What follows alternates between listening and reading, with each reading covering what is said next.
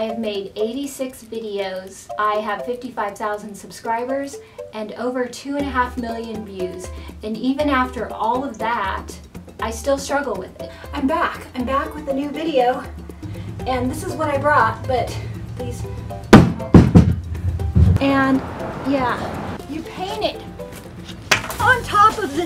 I have to figure out how to turn on this new microphone. I had to reshoot this video five times, maybe six. So then I said to myself, who are you to even be making a video about how to make videos? And then I realized that I'm the perfect person to share how to make, ugh. See, the words, they don't, they don't roll out. So I definitely have some tips and tricks to share with you and that is what I'm gonna do now. So let's get into it. My very first tip is you wanna get in the camera zone. The camera zone is the place where you feel comfortable, where you feel loose, where you feel like you can just say anything and do anything and you can connect and you're just going with it and all of the self-consciousness is kind of like fallen away. It's a transition. I don't just go from regular everyday life mode into camera mode, I need to warm up. It's like exercising. So you want to allow yourself plenty of time because you learn by doing it. Here is an example of me in the zone and not in the zone and you can see the difference. You take your mirror and you want to work over the whole mirror at one time. You're going to take your biggest shells and you're going to glue them here, here, here, here, and here. And all I could do was just think about that instead of what I was supposed to say. So today I remembered and I thought I would tell you guys how to make a seashell mirror. See, my next tip is to enjoy it. The camera actually conveys how you're feeling on the inside and what you're thinking. So if you're thinking, I don't like this, I feel uncomfortable, I can't wait for this to be over, this makes me feel really weird, then the people who are watching you are going to be thinking those same things. So instead, if you're thinking, I love this, this is great, I can't wait to share this information with you, then most likely when people watch you, that is what they will be thinking instead of thinking, I'm uncomfortable too and I want to get off this video as soon as possible. Here are some examples of me being really excited on camera. Found this in the dumpster right here. It's a big giant shipping crate and we're gonna recycle it. We're gonna repurpose it. That whole crate is gonna get covered in RIT dye. We're gonna use it like paint. I go up to the guy and I said, how much are all your sticks?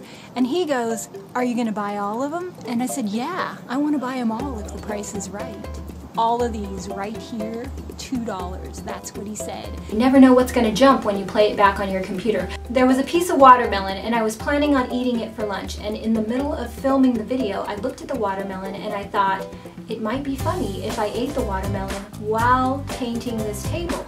I really liked the way it turned out and it ended up staying in the video. So Allow yourself that freedom to try, to experiment. If it doesn't work out, you can always delete it. And here is a shot of that. I gotta eat my breakfast before we get started. Might take a while.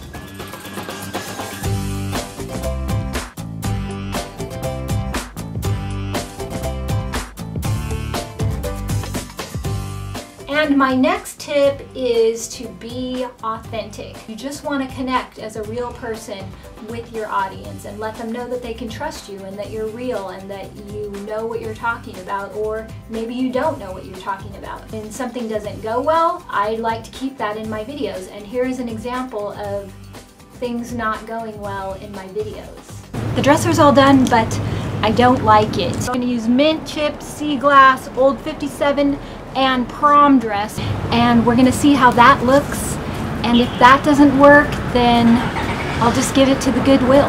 Then you need some needle felting and a chainsaw and it's super easy to make.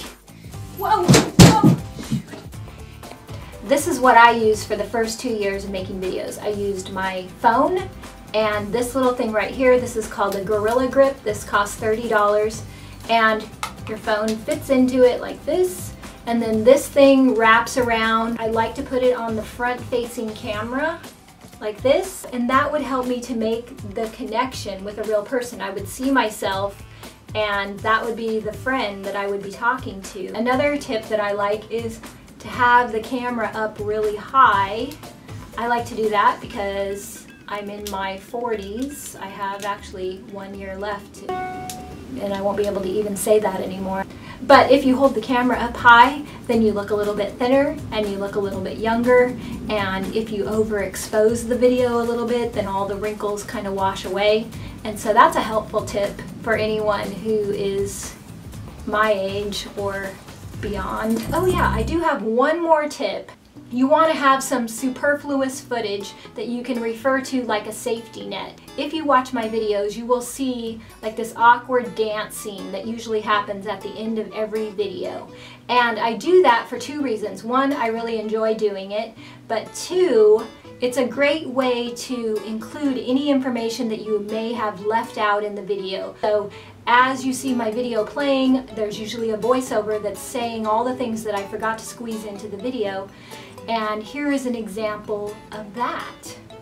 So that's it. Thanks for watching and I will see you in the next video. If you have any tips or questions about being on camera, be sure and leave them in the comments below.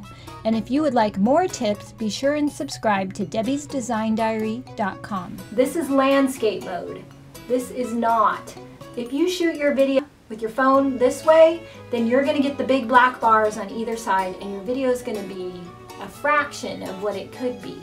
Nobody wants the black bars.